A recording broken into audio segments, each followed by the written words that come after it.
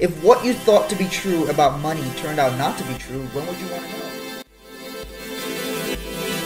Good, Good morning, guys. Morning, everybody. And uh, for those of you who don't know us, my name is Martin Matthews, And I am Chelsea Matthews. and you're live with the Matthews, where we come to you Monday through Friday, 7:30 a.m. Eastern Time, to share with you how you can get the two things that most people say they want the most.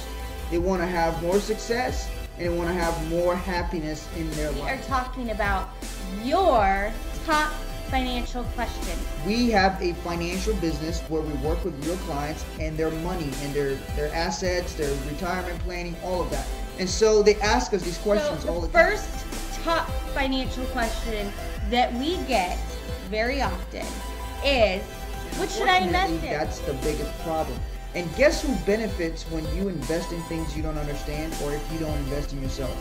The financial industry benefits. The big fancy banks, they benefit. All these big investment companies, they benefit from your lack of knowledge and your lack of investing in yourself. So if you are earning, which you should be earning money on your money, Mm-hmm.